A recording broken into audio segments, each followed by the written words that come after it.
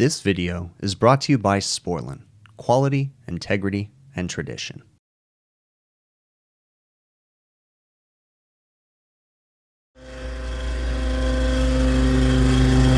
Well, that sounds like it's a problem. Oh, man, that's some serious ice. It's backed way up into there.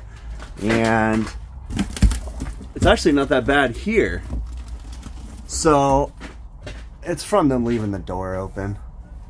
It's just the defrost heaters are taking care of the ice on the coil, but it's not getting the ice that builds up in front of the coil is what's happening. So I'm gonna go throw this guy into a defrost and we're gonna get water hoses in here. We'll get it pulled apart and we'll try to figure out, you know, what's going on here. All right, my condensed unit's right here. I'll have to get these screws taken out. We can open it up and then we'll be able to get in there and uh, get it put into defrost mode. All right, defrost clock. I mean, nothing looks too crazy in here, just a little dusty. No maintenance done here, so. Clock says the incorrect time. It's off by quite a bit, but it's probably about 8.30 a.m. right now. But they probably shut off breakers on the regular. So it should be somewhere around there. Um, I'm gonna go ahead and put it into a really long defrost. We'll disconnect the X terminal and we'll let the defrost heaters start melting stuff while we're getting all of our hoses and everything ready. This has been doing this for a long time and the customer just hasn't been calling is what's been happening. Like they just haven't probably wanted to make the service call, but it's pretty bad. I mean, look at the damage. Like this thing is, is jacked up. Um, what I'm to do right now, just real quick, we're to do our due diligence and we're to go through and we're to amp every heater to make sure they have current. So I got to get back in there. There's another one. So, so far that's two and it looks like there's one more. Three. So I think there's only three heaters in this. There's, yeah, I think that's it. Is those three. There's one on the bottom, one in the middle, and then one in the top. So that's all the heaters. So we know the heaters are working, so that's good. So at this point now, we're gonna go shut off the disconnect switch and we're gonna start breaking out this ice. Now, unfortunately, because of how frozen up it is, we're not gonna be able to not get the motors wet. That's unfortunate, but it is what it is, you know, especially since they waited this long to call us. All right, when uh, when we're doing this, I have a wand, but I also use this, and this works, it's the same as the wand, it just doesn't have the length, you know? But it's really nice because you can put it on the low shower setting and like carefully get around the motor. You can even put it on a mist setting. And because the ice is so thick up on the back, I put down pans down here because there is inevitably going to be water dripping down there. So I'm just going to go to town and get this all defrosted. All right, I went ahead and uh, grabbed some new blades because the old ones were really beat up and they've been hitting the ice. And man, look at this coil. You can clearly tell that management has been beaten on this, trying to melt ice and stuff. So they beat the heck out of it. But we're gonna slap these new blades on and then uh, get it started up and hopefully be done with it. So getting these fan guards on is a chore because there's no speed nut holding it in place like on the Heatcraft ones. This is a Russell one. So the fan wants to fall backwards. So it's kind of a trick. You got to kind of thread these on one corner at a time. But we got it in. Motors are wired in. Ice is all melted. It's time to turn this guy on. Make sure there's nothing else wrong. But we have a history with this one. And it's such a small box and they put so much product in here. They're in and out of it all day long. They use it like a reach-in freezer. The cooks are walking in and out all day long delivery companies leave the doors open it just ices up it's just common and i'm gonna have to talk to them because they got to stop beating it. it looks like they were beating it with a hammer trying to defrost it themselves it's ridiculous i also have a uh, a twist timer on the door and they just don't twist it you know? I mean we could put door switches on it. I mean i guess that's the next thing. Customer really doesn't want to do that though. I brought it to their attention many times so it kind of is what it is. We just come out and defrost it once every two three months. So when this starts up the fan motors should not start immediately. They should have a delayed reaction because it has uh, temperature um, delay, basically. It clicks on that, won't close the power to the fan motors until the coil gets to a certain temperature to try to reduce steam blown off the coil, water droplets, and things like that. Also reduce the load on the compressor on startup. So this is the correct operation.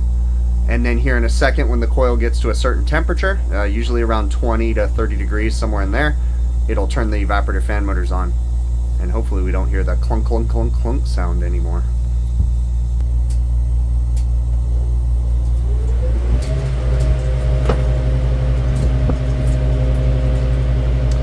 Right, evaporator fan motors are running. No vibrations, no wobbles. That's a good sign. So we're gonna watch, we're gonna start assembling the coil, putting the side panels back on and just kind of watching it drop in temperature. I'll take a walk upstairs, look at the condensing unit, make sure we don't see any issues there. But I think we're gonna be good. We are running and the sight glass is clear. I'll take you down in here.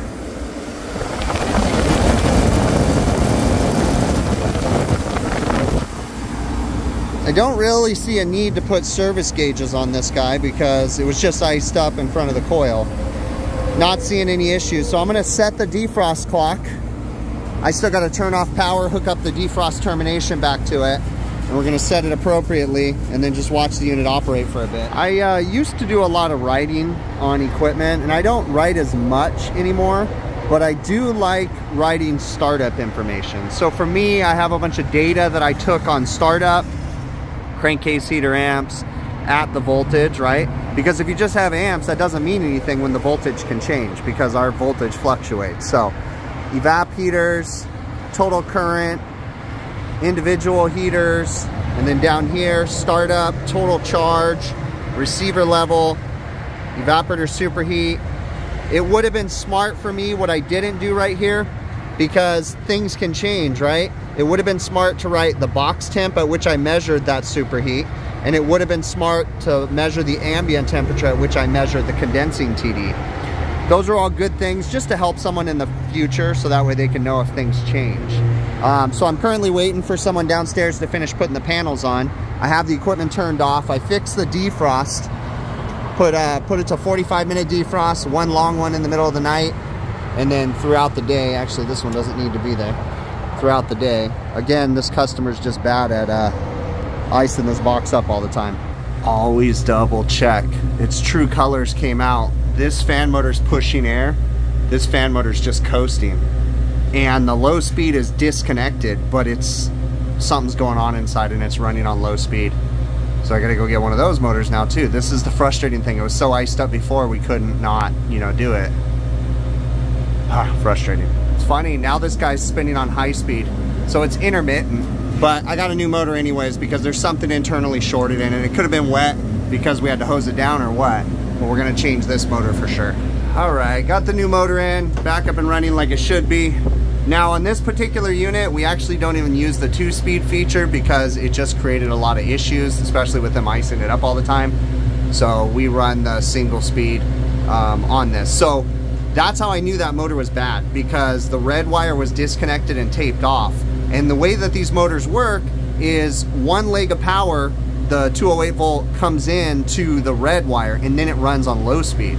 So it runs on high speed if you only have power to the black and the white, but if you bring the power leg to the red, then it goes to low speed.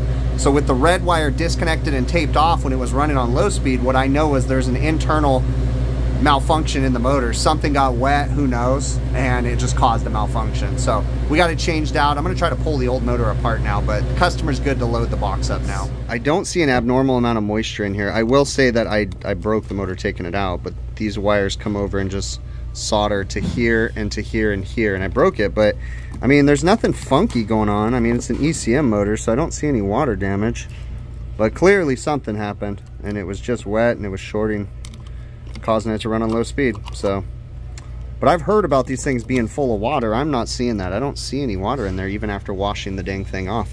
And look at the back of the case. Like, I don't, it looked like it was still sealed. But whatever, we changed the motor. It's good to go now. We're gonna give the keys to the customer and tell him to keep an eye on it. I really need to get this customer on board with putting door switches on this. I'm it's starting to get silly. I was at this location it's actually been more than a couple months. It's been about eight months since I was there last. But from the looks of that evaporator coil, it looks like the customer's been trying to defrost it themselves by using a hammer or something, which we all know how that ends, right? Um, you know, when it comes to doing this, even though it seems like such an easy task, you know, and it seems like, oh, I'm just going to defrost a coil, you still go through everything, still check the heaters. Now, one thing I want to point out as I was editing the video, I realized that you know, that defrost clock being that far off in time is a little suspect. There's a little something going on there. I really think that the customer's been turning off the breaker. I think that's what's been happening. And the reason why I think that is because the ice wasn't on the coil per se. It was in front of the coil and just in the back on the top, like in the very, very top. I've seen this coil before iced up like all the way through, and that wasn't the case. So I'm definitely going to be paying a visit to the customer here because this this happened this week, actually two days ago. It's uh, actually yesterday. It's it's uh, April 19th right now, and I did this on April 18th was when I defrosted it and changed all those parts. Uh, on another note, that ECM motor is insanely expensive. It's it's sad how much those things cost, but it is what it is. You really can't find an alternative to that motor without changing the brackets and the whole setup because of the wattage of the motor. They make ECM replacement motors. Even US Motors makes an aftermarket one that you can buy from the supply house, but the wattage isn't there for the amount of uh, you know work that motor has to do. So you, you're kind of stuck with that OEM motor, and I think the manufacturer of the motor knows that, you know, kind of a thing. But anyways, back to it. Always do your due diligence. Go through everything. You know, you saw that I decided to change the blades because they were really beat up. Obviously, they were hitting the ice. Um, and then even after I started it up and defrosted it and everything was working, I came back in and I noticed that one of the fan motors was spinning on low speed. You know, so that's the kind of stuff we need to catch. Don't just like knock it out and, you know, it's defrosted, I'm out, it's running, you know. Wait, watch the box come down to temp. I did not see a reason to have to put service gauges on it. Again, if you're not super experienced and you're being sent out to do something like this, then I highly suggest that you go through the gamut, putting your gauges on it this is not a critically charged piece of equipment that only holds six ounces of refrigerant. This thing holds 40 pounds of gas, probably, or 31 pounds, or whatever it is. It's a ridiculous amount of gas. So, putting your service gauges on it or even your probes is not going to be a big deal. So, I highly suggest you do that just to make sure that everything's working properly. Maybe do a pump down test, check the liquid level. Again, I marked it, so that liquid level should be the same level all the time, right? When it's pumped down. Uh, you know, that kind of stuff. Now, I didn't see the need to do that. Again, I took a shortcut. Sometimes I, I take shortcuts and I take that risk that there could be something going on, but I, you know, I'm, I'm using my judgment, I'm using my knowledge and the skills that I have, and I'm making an educated guess, if you want to call it that. Right. So that way, you know, I don't think I need to put service gauges on it. I didn't need to go that far because, you know, that didn't seem like it was the issue. Now, I will tell you that again, uh, I'm going to approach the customer and, and understand something. I work for corporations, right? I don't work for the local management. So the local management just calls me when there's a problem. But if I want to get something okayed, I have to go to the corporate office. So what I'm probably going to suggest is, is that they let me go in with something, um, you know, that's an all-in-one controller. You know, something that we can. Uh, monitor defrost, have a door switch, and have it all integrated into one controller. Maybe the defrost is built into the controller. Uh, that'd be something that I really think they should consider. But again, it's up to them, right? I have to give them the information and then they choose to do what they want with it. A lot of times in the past, I've told them, hey, let's put door switches on here. Let's put this, let's put that. And a lot of times they're like, nah, nah, nah. Just, you know, if you got to go out there twice a year, you know, they're like, that's fine. You know, they don't mind doing that so it's just a game you have to play. So I'll bring everything up to them and see where they want to go with this. But I can't stress enough big picture diagnoses, right? Always look at everything. Now, I'm very familiar with this location. In fact, I've been servicing this location for over 20 years. Like since I was a, even before I was officially doing HVAC, working with my father, I was servicing this location with him as a little kid. So, you know, I, I, have a very big history at this location and I know their habits and I know what goes on. Um, and I know what, you know, typically the, the biggest issue here is the food delivery. They are a very small restaurant, they do a lot of volume. They get a lot of food delivered to the point that you can't even walk in that box very easily. It's kind of ridiculous. Now, they do keep the food away from the coil, they're good about that, but it's just there's such a small location and they don't have a lot of room for equipment as far as refrigerators and freezers go in the kitchen. So what they do is, is they have a small freezer, but they end up using this as a back and forth, back and forth. And obviously, we know that this isn't really designed for that. And it's such a small box that when you open that door, it's just ridiculous. You know, the amount of heat that comes in there, and it's a whole issue. But you just want to make sure that you're very thorough, big picture diagnoses stuff, right? You want to kind of look at everything and don't just be a, a knock it out and move on, you know? So just be thorough. I really appreciate y'all making it to the end of the video as usual. It's really awesome to see the support, the comments, the feedback I get from you. It is really cool. If you're interested, uh, check out my website, hvacrvideos.com, and we have merchandise available. We have hats available soon. Soon, I just got an email from my supplier that we're going to have some new style hats. So stay tuned. Those will be coming very soon. We're going to have flat bill um, hats coming out. Uh, really cool design. And then also we're going to be having dad caps, like dad style, like floppy, relaxed fit hats coming out too. So stay tuned. Those will be popping up on the website very, very soon. Um, a couple other ways if you're interested in helping to support the channel uh, PayPal, Patreon, YouTube channel memberships. Those are all ways that you can make a monthly commitment to help support the channel. You don't have to do that, but you know a good majority of you have chosen to do that, so it's really awesome. But anyways, there's links in the show notes if you're interested in doing that. Also, TruTechTools.com. I have an affiliate program set up with them. So I have an offer code. The offer code is big picture, one word. If you use that offer code on checkout, on almost all the tools they sell. There's a few things they sell that don't uh, that the discount code doesn't apply to, but on majority of the stuff they sell, you can use my offer code Big Picture.